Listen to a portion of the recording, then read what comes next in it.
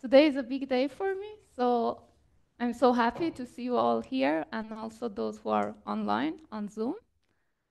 Uh, let's start with my thesis. So the title of my thesis is Development and Tailoring of Low-Density Cellulose-Based Structures for Water Treatment. Uh, although 75% of planet Earth is covered with water, the still world uh, have a water scarcity problem. And that is because only less than 1% of this water is accessible fresh water. The rest is either salt water in the ocean or it's in the form of salt in glaciers. In addition to water scarcity, we have water contamination. Industrial and mining discharges, agricultural input, hospital and city sewage, all are uh, contributing in water pollution. According to the UN report, around 800 million people worldwide, which is one person in every 10 people, lack access to basic drinking water. It's been such an important issue that Sustainable Development Goal number six of the UN is clean water and sanitation. Different water purification techniques have been proposed so far. Each of these techniques have their own advantages and disadvantages, and usually in a water treatment system, a combination of different treatment methods are used to get the water with the right quality. In my thesis, we mostly were focused on adsorption due to its low cost, ease of implementation, and absence of secondary pollutant. In order to create adsorbent uh, with good properties, porous materials are very interesting materials due to their high surface area that can interact with different types of contaminants. But to create adsorbents that are efficient but also they are eco-friendly. We need to have a transition from fossil-based materials to biodegradable renewable materials. We also need to use green and eco-friendly preparation processes to prepare these types of adsorbents. Cellulose is a highly viable material to perform this transition from uh, oil-based material to green material. First of all, it's highly abundant in Sweden, 70% of lands are covered by forest, so it's really good to use these materials to prepare something that is that has high value.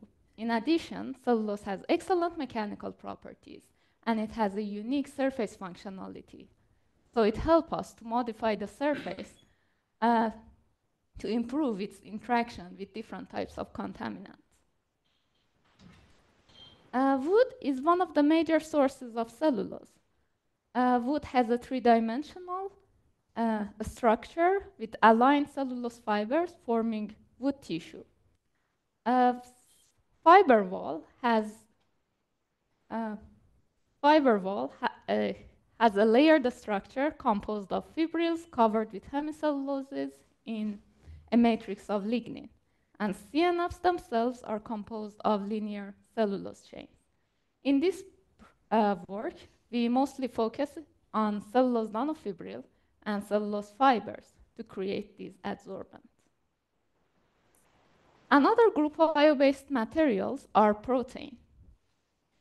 Uh, Beta-lactoglobulin is particularly interesting because it's the major protein in whey, and whey is a cheap byproduct of cheese industry. Only in Sweden, around 700 kilotons of whey are produced each year.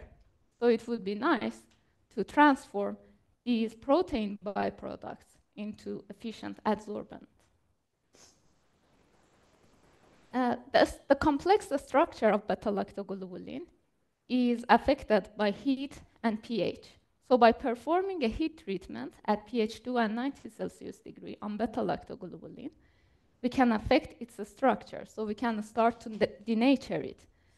So the protein will be unfolded and finally it would be segmented, segmented into small peptides. A portion of these peptides can, can self-assemble and form protofilament. And then these protofilaments will be self-assembled and form long amyloid nanofibrils. Usually in a heat treatment, heat-treated beta-lactoglobulin system, we have 70% peptides and 30% amyloid nanofibrils. Uh, this heat-treated beta-lactoglobulin is very interesting. First of all, because beta-lactoglobulin is composed of around 163 different types of amino acids. So it has many different surface functionalities that can interact with different types of contaminant. So it would be nice for our application. And also, the amyloid fibrils that are formed by heat treatment of beta-lactoglobulin they have high aspect ratio and high mechanical properties, so it enables us to form them into the shapes that is useful for our application. With this introduction, the main goal of my thesis was to create green and bio-based adsorbent for the adsorption of organic solvent and oils, metal ions, and dyes. I divided the, re the result of my thesis into three parts in this presentation. The first part will focus on development and molecular layer by layer modification of CNF-based aerogels for the removal of solvent and oils. In part two, we will focus on formation of biohybrid porous structures based on heat-treated beta-lactoglobulin and CNF uh, for adsorption of metal ions and dyes. We will study ambient dried aerogels and oven-dried foams. And finally, in part three, uh, we focus on development of extremely highly charged fibers by a radical transfer polymerization. So let's go into details of part one. Uh, in this project, the aerogels were prepared by freeze linking method. In this method, a CNF gel was frozen in a typical freezer at minus 18 Celsius degree. So during freezing, the growth of ice crystal will push these CNF together, so they become very close to each other. And by choosing a correct chemistry, we can cross-link these CNFs. So when the ice crystals are thawed, the cellulose structure doesn't collapse.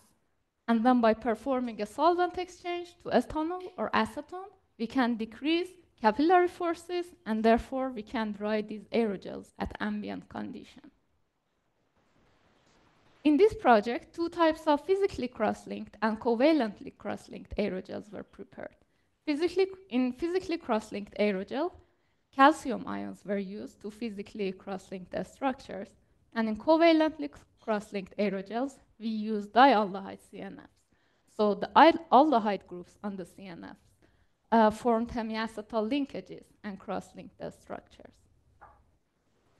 Both aerogels that were prepared had an open porous structure, which is interesting for our application.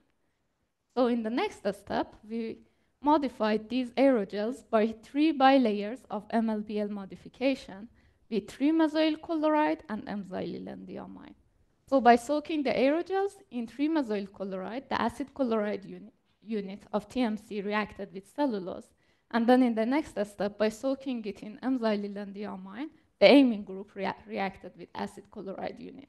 So by continuing this step-by-step -step reaction, we were able to form a polyamide layer on the cellulose structure. And since it was layer by layer and molecule by molecule, we had a good control over the extent of the reaction and the surface functionality.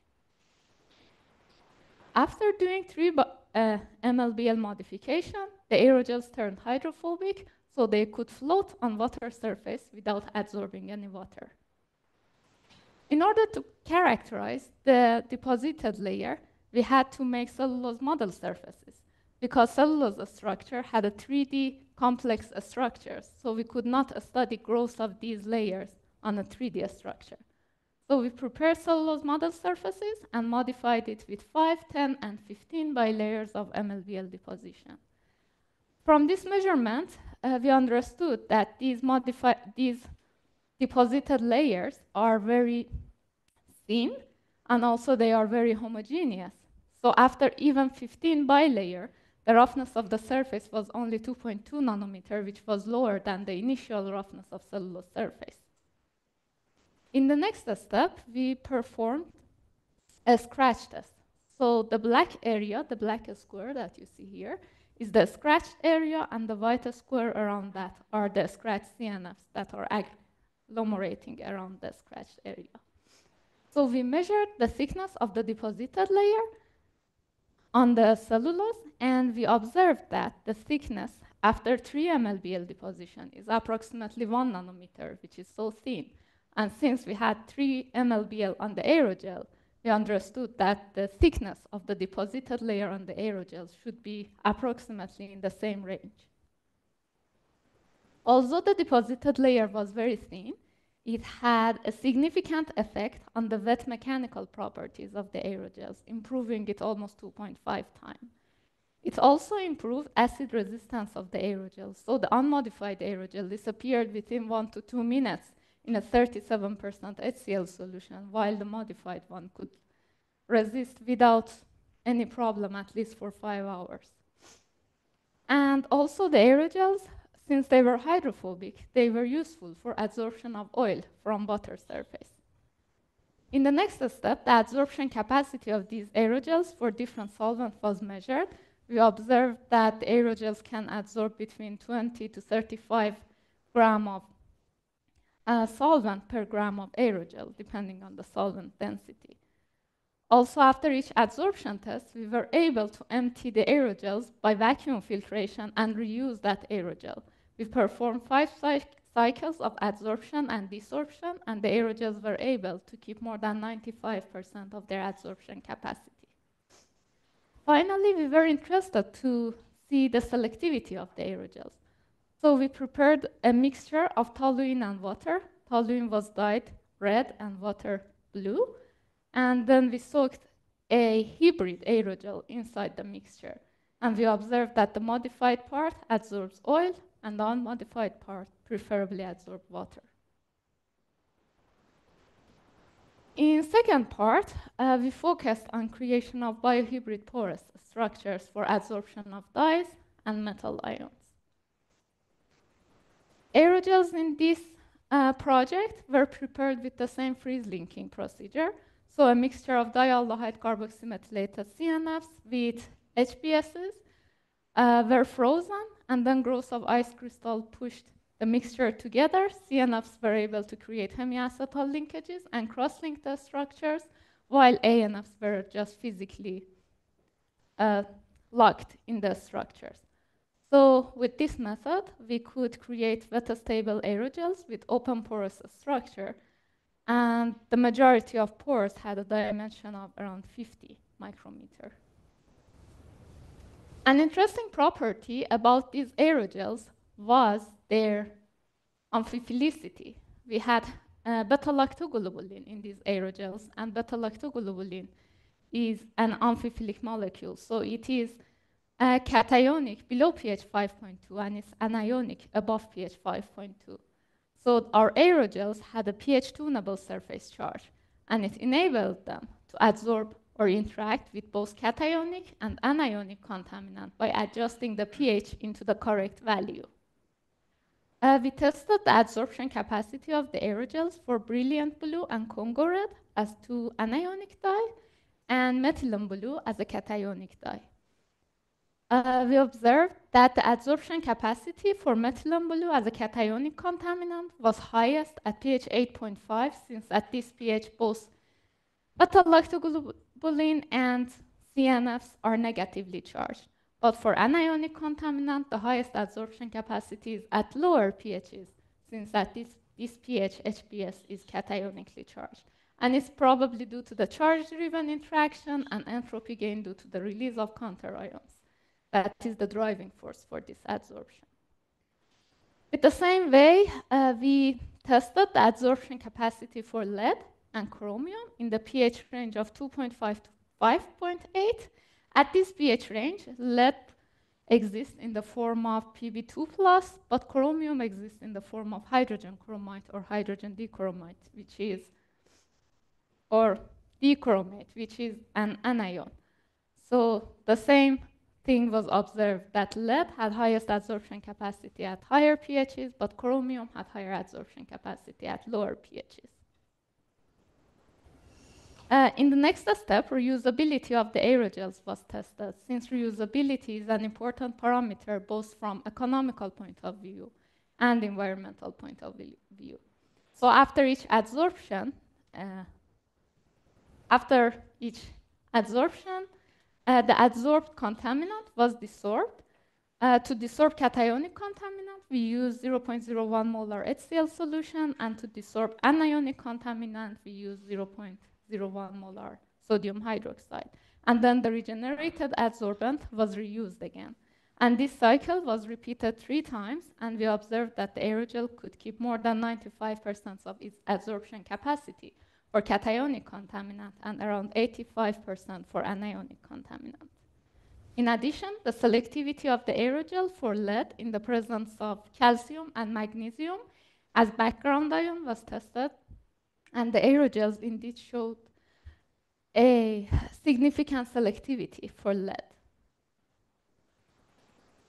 Uh, the aerogels that were prepared in this part uh, were prepared by freeze linking. And in this method, we have to use a solvent exchange process and solvent exchange the aerogels to ethanol or acetone to decrease capillary forces and be able to actually dry them in ambient conditions. So in the next project, we were interested to see even if we can eliminate this solvent exchange process and make the aerogels even, the production of these aerogels even greener. So in the next project, we focused on making oven-dried foams. Uh, heat-treated beta-lactoglobulin is actually a surface-active material. So by creating Eh, a beta-lactoglobulin dispersion and then by agitating it, you can create a foam. So the goal of this project was to use heat-treated beta-lactoglobulin as a natural foaming agent and CNFs as foam stabilizer to create a highly stable foam that can be directly dried in the oven without collapsing. But to be, do, to be able to do that, we, need to first, we needed to first study the foaming properties of heat-treated beta-lactoglobulin and know if this uh, surface activity comes from peptides or from ANF. We also knew that HBS is amphiphilic, so pH has a significant effect on that. So we needed to also know the effect of pH on the foaming properties of the aerogels. to do that, uh, four dispersions, uh, one from pristine beta-lactoglobulin, the other one from heat-treated beta-lactoglobulin, and also from the individual ANFs and peptides were prepared. And then they were agitated to create a foam, and the foamability of these dispersions was measured. Also, their foam stability was analyzed by measuring the half-life time of these foams as the time required for the foam volume to decrease to half of its initial volume. From this measurement, first of all, we observed that a heat treatment is necessary to improve the foaming properties of beta-lactoglobulin. Also, we observed that the foaming properties mostly come from peptides, not from the amyloid fibril in the system. In addition, we observed that pH has a significant effect on the foaming properties of these components. So at higher pHs, which components are highly charged, we get the highest foamability. But to get the highest stability, we need to decrease the pH into the lower pHs.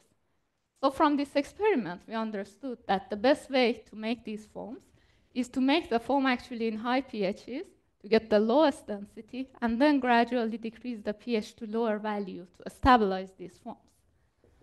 Moreover, since HPS and peptides had almost the same foamability, we decided to work with HPS because it's simpler and we don't need to use do a purification process to get pure peptides.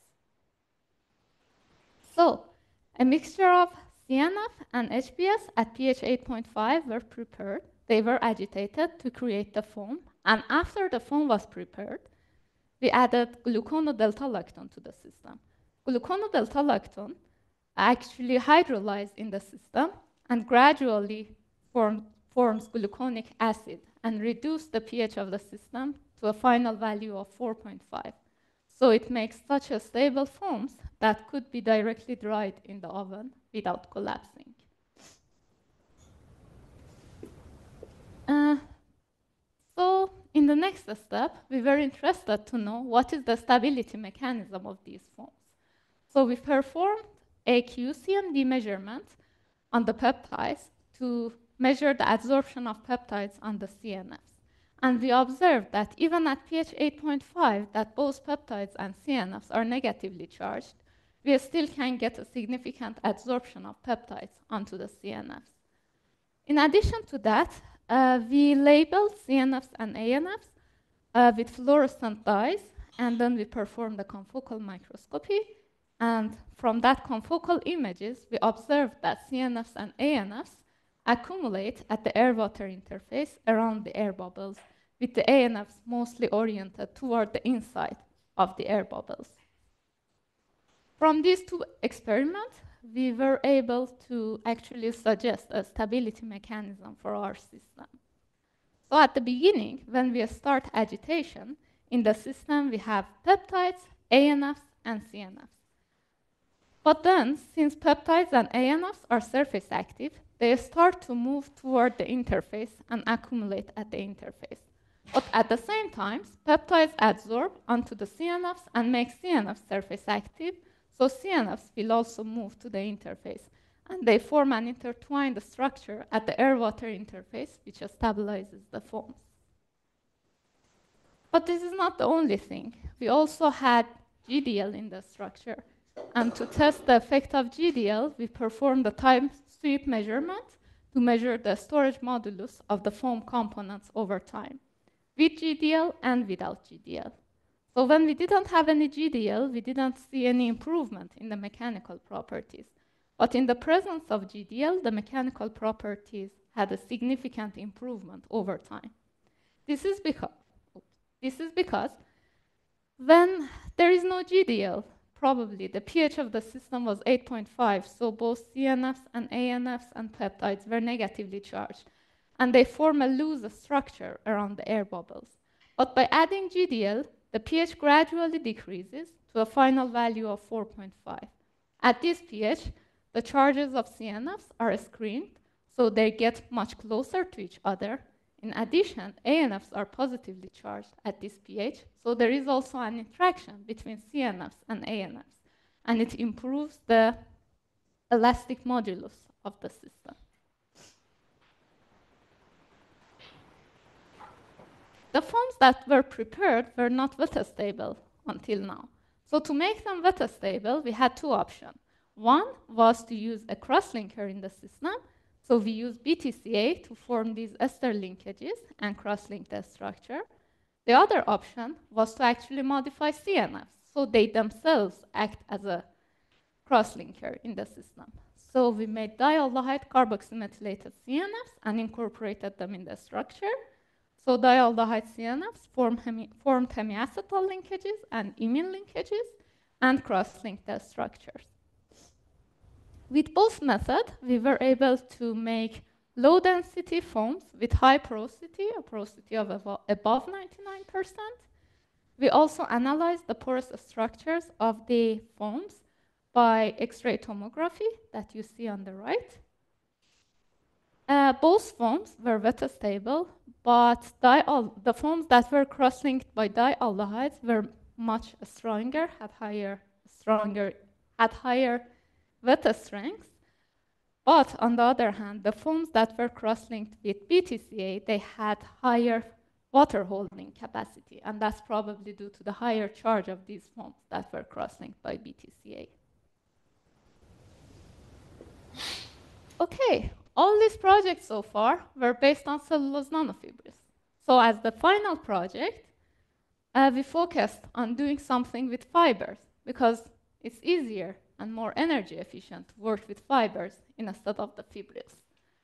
Since uh, the charge of the fibers has a significant effect on the properties of the fibers from swelling, fibrillation, mechanical properties, and in our case, on its interaction with different materials.